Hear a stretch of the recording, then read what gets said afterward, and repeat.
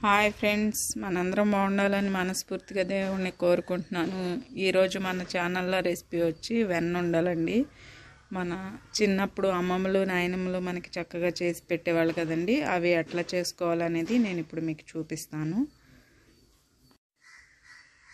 నేనైతే ఒక కేజీ దాకా రేషన్ బియ్యం తీసుకున్నానండి. నైటే నానబెట్టుకున్నాను. శుభ్రంగా రెండు సార్లు కడుక్కొని నానబెట్టుకోవాలి. మళ్ళీ ఒక నాలుగు సార్లు దాకా కడుక్కోవాలి. మార్నింగ్ చేస్తున్నానండి నేను. ఈవినింగ్ చేద్దాం అనుకుంటే మార్నింగ్ నానబెట్టుకోండి సరిపోతుంది. రేషన్ బియ్యం అయితే మనకి వెన్నుండలు అనేవి చాలా బాగా వస్తాయి. ఇలా బాగా శుభ్రంగా కడిగేసిన తర్వాత మనం చూడండి ఇంత బాగా కడుక్కోవాలి. స్మెల్ అనేది లేకుండా చక్కగా తెల్లగా వచ్చేంత వరకు కూడా కడుక్కోవాలి. ఇప్పుడు కడగడం అయితే అయిపోయిందండి. బియ్యం వాడేసే గిన్నెలో వాడేస్తున్నాను నేను. బియ్యం అనేవి. ఈ గిన్నెలో వేయడం వలన బియ్యం నుండి వాటర్ అనేవి త్వరగా సపరేట్ అయిపోతాయి. ఇలా సపరేట్ అయిపోయిన బియ్యాన్ని మనం ఒక క్లాత్ పరుచుకొని దాని మీద ఆరబెట్టుకోవాలండి. ఎండలో అయినా పర్లేదు నీళ్ళైనా పర్లేదు. అలా ఆరబెట్టుకున్న తర్వాత మనకి చక్కగా బాగా ఎండనవసరం లేదండి. మనకి బియ్యం నుంచి వాటర్ చెమ్మ అనేది లేకుండా ఉంటే సరిపోతుంది. అంతవరకు ఆరబెట్టుకుందాం ఎండలో. నేను మీకు బాగా అర్థమవుతుందని దగ్గరగా చూపిస్తున్నానండి. చూడండి ఇలా ఆరితే సరిపోతాయి బియ్యం అనేవి.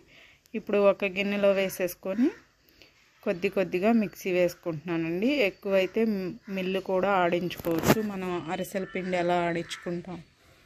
కొబ్బరి బూరెలకు కానీ అలా ఆడించుకోవాలండి. పిండి అనేది బాగా మెత్తగా ఆడించుకోండి మిల్లుకి పట్టుకెళ్తే. మిక్సీలో వేసుకున్నా కూడా బాగా మెత్తగా వేసుకోండి.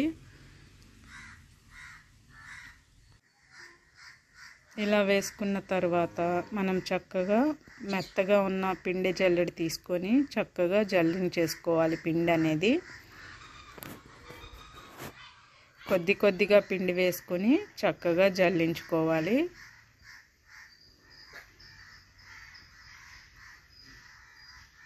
నేను వీడియోలో చూపిస్తున్న విధంగా జల్లించేసుకోండి. ఈ విధంగా జల్లించినాక పిండి సపరేట్ అయిపోయి మన జల్లెడలోకి ఇలా రవ్వలాగా వచ్చేస్తుందండి. ఇది ఒక గిన్నెలో వేసుకొని పిండి అంతా కూడా జల్లించడం అయిపోయిన తర్వాత మళ్ళీ ఆ రవ్వని కూడా మళ్ళీ మిక్సీ వేసి మళ్ళీ జల్లించుకోవాలి.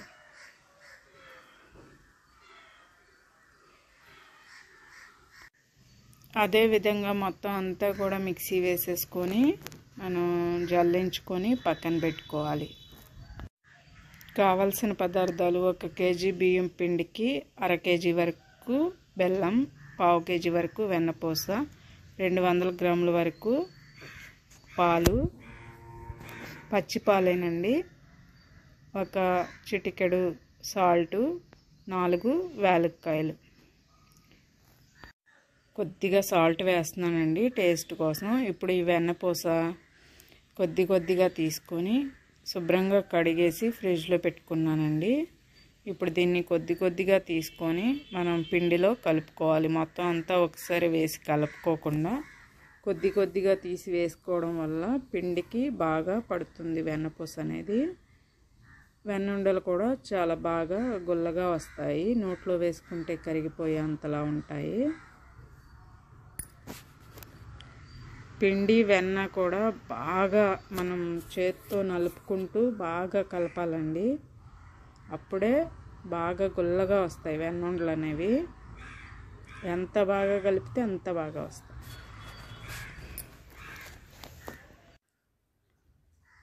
మనం పిండిని చక్కగా ఇలా పట్టుకుని ముద్దలాగా చుడితే అయ్యేలాగా అంతవరకు కూడా కలుపుకోవాల్సిందే. ఇప్పుడు కొద్ది కొద్దిగా పాలు పోసుకుంటూ కలుపుకోవాలండి. పాలు అనేవి ఒక్కసారి పోస్తే పిండి పలసన అయిపోతుంది అందుకని కొద్ది కొద్దిగా పాలు పోసుకుంటూ చూసుకుంటూ కలుపుకోండి.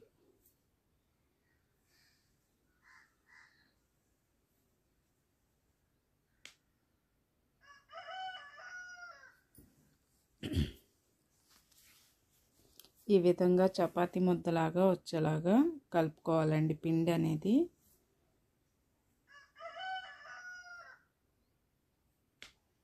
మనం చేత్తో అలా ఒత్తుతుంటే వేళ్ళకి అంటుకోకుండా వచ్చే అంతలాగా కలుపుకోవాలి మనం పిండి.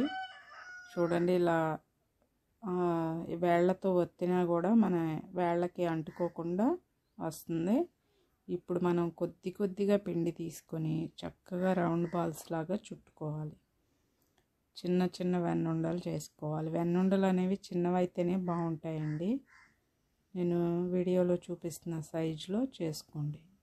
మీకు కొంచెం పెద్దవి కావాలనుకుంటే చేసుకోండి. కొంచెం చిన్నవైనా చేసుకోవచ్చు. నాకు ఈ సైజు కరెక్ట్గా సరిపోతుందని చెప్పి ఇట్లా చుట్టుకుంటున్నాను పిండిని కూడా కొద్ది కొద్దిగా తీసుకుని బాగా ఒత్తుకుంటూ కలుపుకోండి. అదేవిధంగా మొత్తం వెన్నుండలు చేసుకుని పక్కన పెట్టేసుకోండి.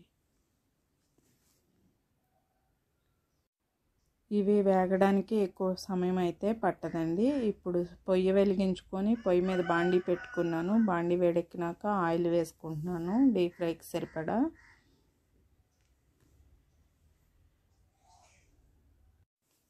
ఆయిల్ కాగిందా లేదా అని ఒక్క వెన్నుండి వేసానండి. ఆయిల్ అయితే చక్కగా కాగింది.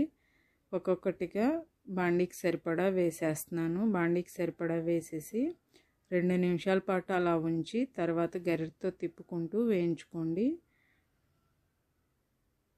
బాగా వేగుతాయి. మంటని మీడియం ఫ్లేమ్లో పెట్టే వేయించుకోండి. ఇలా గోల్డెన్ బ్రౌన్ కలర్ వచ్చేంత వరకు వేయించుకోండి. ఇప్పుడు చిల్లుల గరిటలోకి తీసేస్తున్నానండి. నూనె బాండీలోకి సపరేట్ అయిపోతుంది చక్కగా. ఇప్పుడు వీటిని ఒక గిన్నెలో వేసుకుంటున్నాను. అదే విధంగా మిగిలినవి కూడా వేసుకోవాలండి. ఒక్కొక్కటిగా వేయటానికి భయపడితే ఇలా చిల్లులు గరిటలో వేసుకొని వేసుకోండి. సులువుగా ఉంటుంది. అదేవిధంగా రెండో వాయి కూడా వేయించుకుంటున్నాను. నాకు కేజీ బియ్యానికి వచ్చి పెద్ద బాండి పెట్టాను కాబట్టి రెండు వాయిలు అయినాయండి. రెండో వాయి కూడా అయిపోయింది. తీసేస్తున్నాను.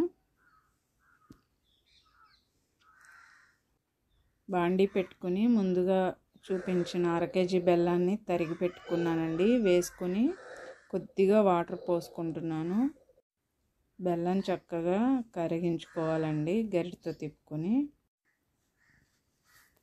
బెల్లం అయితే చక్కగా కరిగిపోయిందండి. ఒక స్టైనర్ సహాయంతో వడకొట్టుకుంటున్నాను. బెల్లంలో డస్ట్ ఏమైనా ఉన్నా కూడా స్టైనర్లోకి వచ్చేస్తుంది. ఇలా వడగొట్టుకున్న బెల్లం పాకాన్ని మళ్ళీ పొయ్యి మీద బాండి పెట్టి దానిలో వేసేసుకోవాలి.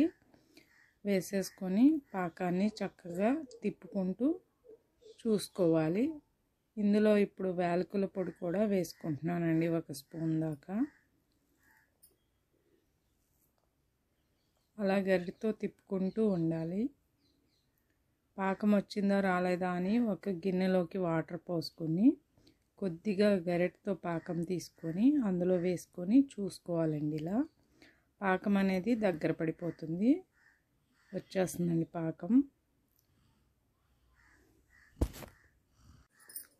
పాకం అయితే రెడీ అయిపోతుందండి. ఇప్పుడు కొద్ది కొద్దిగా వెన్నుండలు తీసుకొని పాకంలో వేసుకొని మనం గరిటతో తిప్పుకుంటూ చక్కగా వేసుకోవాలి.